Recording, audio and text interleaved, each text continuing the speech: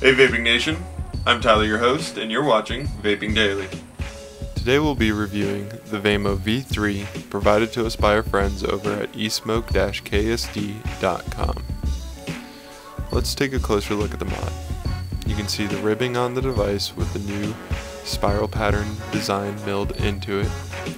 Let's just take a few longer looks at it before we get into the review. So the Vamo V3 is a variable voltage, variable wattage mod. It sticks with its traditional Vamo 3-button operation. The model we have here has two extension tubes, so you can use your 18650, stacked 18350s, or go into a stealth mod if you'd like to. There is another model out there that has just one long extension tube to use your larger batteries. You have a battery vent on the bottom, it features an OLED screen, you've also got a removable skirt, and then you've got ego threading as well as 510 threading. You can pick up the V3 in a black chrome or a chrome finish. It uses a brass base material with chrome plating on it. So let's do a quick comparison between the Vamo V2 and the Vamo V3. The first difference you'll see is the finish and design of the device. You've got a milled coil from the top and bottom of the V3. Now that cuts down on your weight and it also cuts down on the fingerprints that stick to the device that the Vamo V2 had a huge issue with. You also are a little bit taller on the V3 compared to the V2, and I think that's because they added that OLED screen and had to fit that little bit of extra in there. Now with the new screen, you gain the OLED, but it's a little bit dimmer compared to the LED screen that the V2 had. My personal preference, I like it. Yours, it might be a con. Now, with that being said, they removed the NO1 feature that the V2 had. So you're strictly NO2 true RMS. Now they added a removable top skirt to the V2. You can take that off and it makes it much easier to maintain your device and clean it because with the V2 you couldn't even get a Q-tip down there to clean the ego threads or anything like that or if you dripped liquid down there on accident. You also have removable extension tubes from the head of the device where on the V2 you could only remove it from the bottom. The top tube was fixed on there. The buttons on the V2, V3 are a little bit more firm compared to the V2.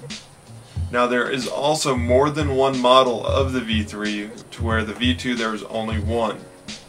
The V3 you've got the one with the two extension tubes and you've also got one with a longer uh, big battery tube, so you only have one tube on the base of this device. Now, there's also only two finishes when it comes to the V3 where the V2 had three. They had the black chrome, the chrome, and the stainless steel. They took away the stainless steel finish for the V3. But all in all, it's still the good old Vamo. Vape's the same, and it's a great little device. I like the looks of this. I wish it didn't have the rhinestones. There is another model out there that doesn't have it. This is the one they sent us. I'll rock it. Let's go over the operation of the Vamo V3. To power the device on, you'll press the firing button five times. To adjust your voltage or wattage, you'll press the left button, left or right, to go up and down, and in wattage, you adjust in 0.5 increments. To check your battery life, you'll hold down the left button for 3 to 5 seconds. To check your resistance, you'll hold down the right button for 3 to 5 seconds. To access your menu options, you'll hold both buttons for 3 to 5 seconds.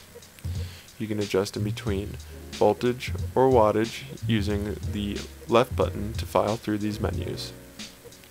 You use the right button to go through your selection on the menus. I accidentally exited out, let's get back to it. So you use the right button to cycle through. Now you can change your display to show resistance, battery, voltage, etc. So we'll go through check out LCD on or off. Now this is when you press the firing button, the screen does turn on, and you can select that so it does turn off, and it doesn't come on when you're firing the device. Voltage adjusts in 0.1 increments, and to turn this device off, you press the firing button five times again. So the Vamo V3 is a great little device. I like the new finish. A lot of people I've seen on the internet seem to be deterred from the Vamo V3 because they just don't like the new design. Personally, it's grown on me. I didn't like it when I first saw it. I've owned it for a few days now, been using it. I love it. I like the fact that it doesn't collect fingerprints anymore. I like that it's a little bit lighter. The removable skirt is a big thing for me because I maintain and clean my devices daily, so it makes it a lot easier to clean compared to my V2. The new crisp buttons are nice. They're not they don't seem like they're going to wear down too easily. The removal of NO1 isn't such a big deal to me. I don't know if it's going to be a big deal to you guys, but especially for the newbies out there who want to get into a variable voltage mod, that feature is not so much needed for them, and it's kind of hard to understand if you haven't been using e-cigs for a while. So that doesn't seem to be too big of a deal to me.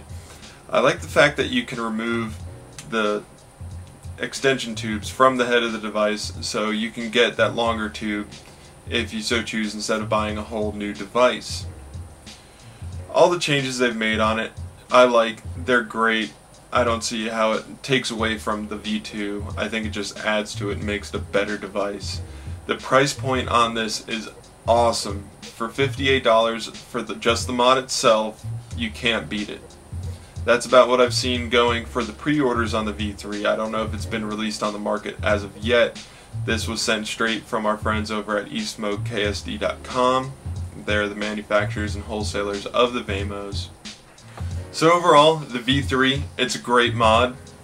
I'd suggest it to anybody who's trying to get into a variable voltage mod. It's at a great price point.